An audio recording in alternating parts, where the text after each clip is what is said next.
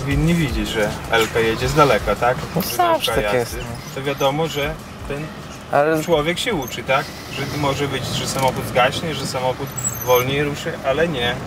Zawsze mają kierowcy pretensje.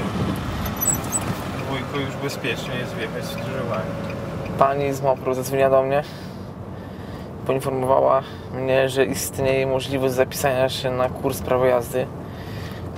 Lecz trzeba przyjść na spotkanie organizacyjne i się dowiedzieć więcej, więc zdecydowałam, że pójdę na to spotkanie. Tam dowiedziałam się o co chodzi w tym projekcie. Dowiedziałam się, że muszę muszę wykonać szereg innych działań, ale było warto, żeby no, zacząć te prawo jazdy, prawda? Tym bardziej, że nie płacę za to. Gdzieś pojechać sobie, zwiedzić coś samochodem, a nie tylko autobusem wiecznie. W przyszłości na pewno chciałbym kupić ten samochód. Każdy o tym marzy. Mając prawo jazdy. No ale to trzeba pracę, prawda? Czasu. Mam nadzieję, że z pomocą projektu, wiadomo, zaoszczędzę coś tam i będzie dobrze. Może w ciągu roku kupi się jakiś mały, tani samochód na początek. Po prostu trzeba chcieć, prawda, żeby coś się czegoś się nauczyć, a nie siedzieć w domu przed komputerem. Trzeba poświęcić czas, zdać i móc jeździć. A potem nie w Elce, tylko w samochodzie. Nie z instruktorem, tylko z dziewczyną.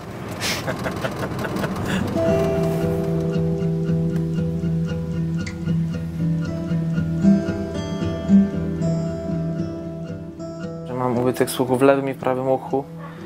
W lewym uchu jest trochę gorzej niż w prawym. Cóż, muszę sobie radzić jakoś. Korzystam z aparatów słuchowych.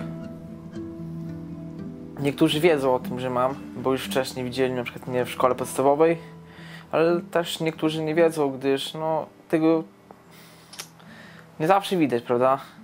Ja się staram być normalny. No ale wiadomo, czasem można czegoś nie dosłyszeć. No to ktoś powie, że masz chyba problemy ze słuchem. No starają się mówić głośniej, albo ja sam mówię, powiedz głośniej, bo ja nie słyszę ciebie. Moim zdaniem jest to normalne, więc każdy ma jakieś problemy. Ostatnio robiłem parę wyjściówek.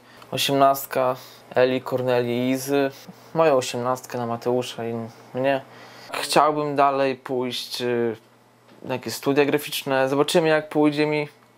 To wszystko zależy od matury. Halo? No cześć. Jestem, ale nie mogę rozmawiać teraz. Kolega bojowo nastawiony na mecz. Wygramy, wygramy, wygramy. Moi rodzice się rozstali, mieli kłopoty finansowe. Nie wyszło jakoś. Babcia zaproponowała, że przyjmie mnie do siebie na jakiś czas. I potem poszło dalej. Tutaj chcę skończyć szkołę i potem dopiero sam pomyśleć, gdzie iść.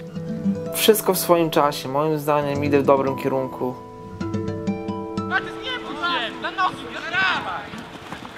Pani z y, Miejskiego Ośrodku Pomocy Rodzinie z, pytała mnie po prostu w jakim jestem wieku. Spytała się, czy też mam jakiś tam stopień niepełnosprawności. Powiedziałam, że tak, związany z moją wadą słuchu. Potem skontaktowaliśmy się z tą panią jeszcze raz, poszliśmy na to spotkanie, dowiedzieliśmy się, że to jest z funduszy europejskich, kapitał ludzki. No i po krótkiej rozmowie z moją babcią zapisałem się. Pół roku i będę mieć wszystko, że tak powiem, nie? Za darmo. Pływałem kiedyś, chciałem zdobyć ten stopień.